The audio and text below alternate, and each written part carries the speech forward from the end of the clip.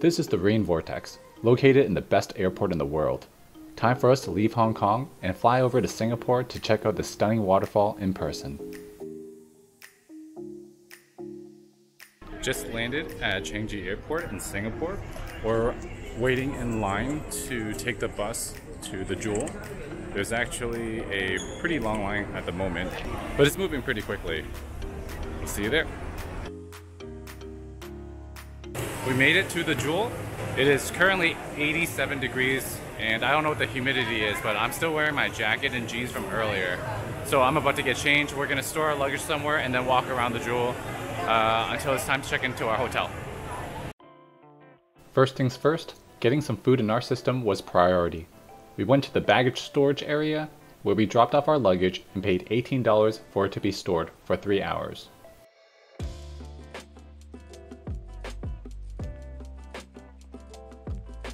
Our first meal in Singapore was from Sop Sop Thai. We ordered an iced tea red soda and regular Thai iced tea to go along with our fried chicken wings with choice of spicy and original sauce. The crispy chicken noodle dish came with a side of fried fish and fried beef balls and broth to dunk the noodles in. Nancy also ordered one of her favorites, mango with sticky rice.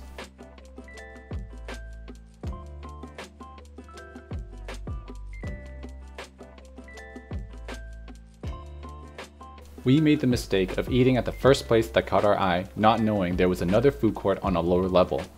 Don't get me wrong, our food from Sop Sop Thai was very good. We just didn't know there were over 100 dining options at the Jewel.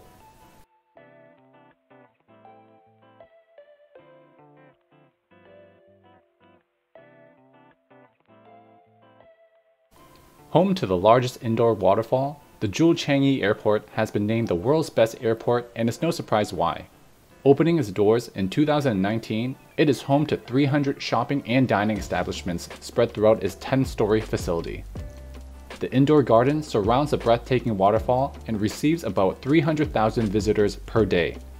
It's no wonder why people travel near and far just to spend their day at this airport.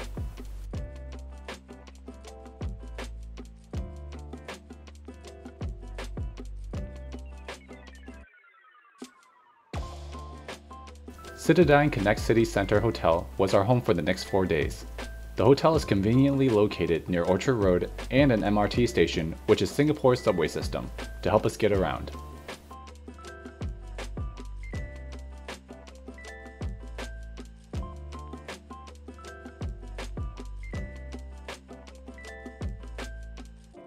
The hotel strongly advises guests not to bring back fruits such as durian or mangosteen or else there will be a hefty fine.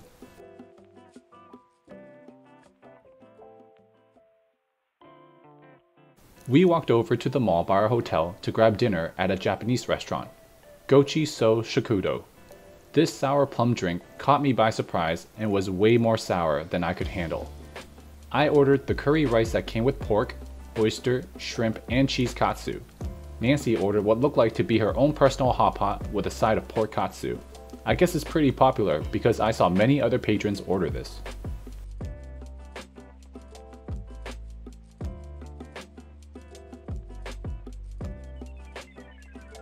We ended the night with a fresh coconut shake from Mr. Coconut. I'm usually not the biggest fan of coconut, but this is a must try if you're ever in Singapore.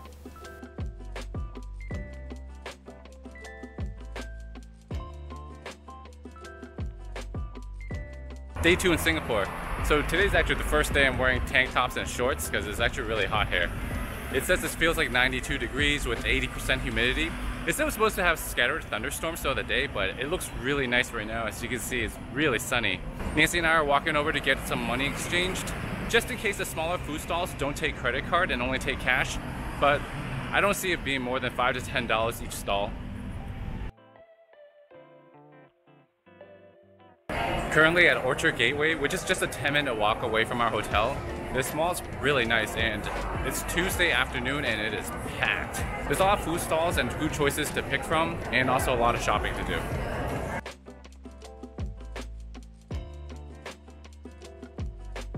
Just picked up our MRT card from the ticket office.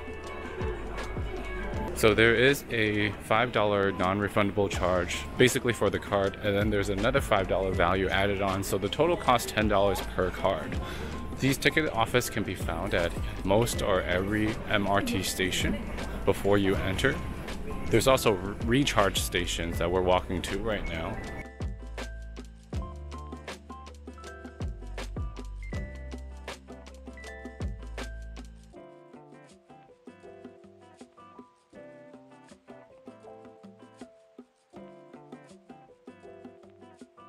Maxwell Food Center, located in Chinatown, was our first hawker center experience. There are more than 100 food stalls serving a variety of different cuisines. The only problem is deciding on a place to eat. The dishes are super affordable, most ranging from $2 to $6. If you're having a really difficult time picking, look for the stalls with long lines.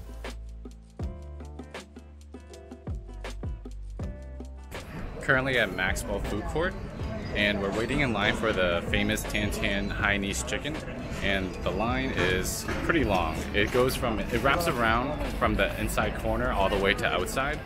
Uh, you can see behind me.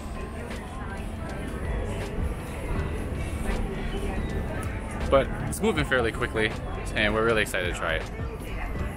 This was the longest line inside the entire center. They even had a picture of the late Anthony Bourdain raving about their chicken.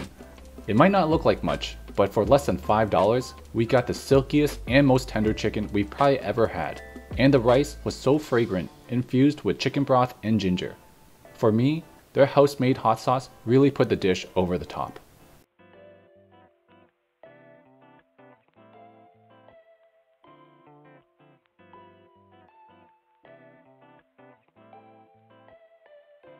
The next stall with the longest line that we tried served Chinese roast meats over dry wonton noodles.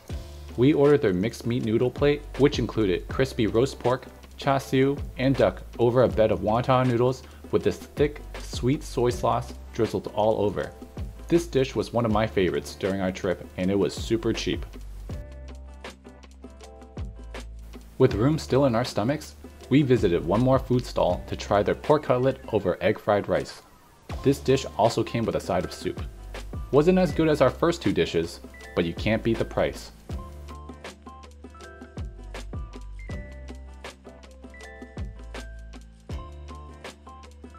We ended our first Hawker Center experience with some fresh coconut juice.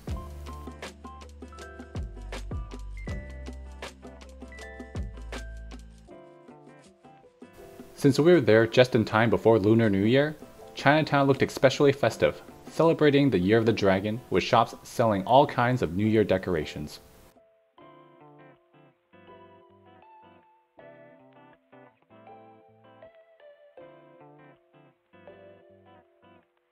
This unsuspecting ice cream shop advertising their $1 ice cream cone surpassed all my expectations. I'm not sure if it was because it was hot and we've been walking around for a while, but it was arguably the best ice cream I've ever had. A definite must try.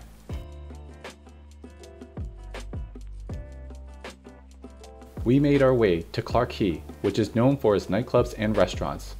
Our final destination for the night was Jumbo Seafood at the Riverwalk location to try Singapore's famous chili crab.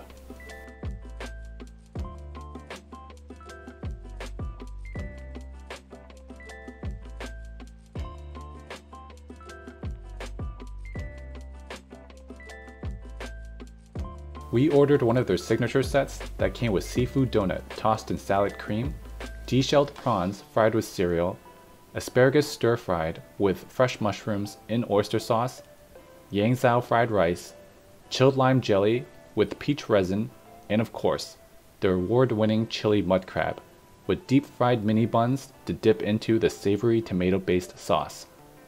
This was by far the most expensive meal that we had on our Asia trip but we just couldn't resist.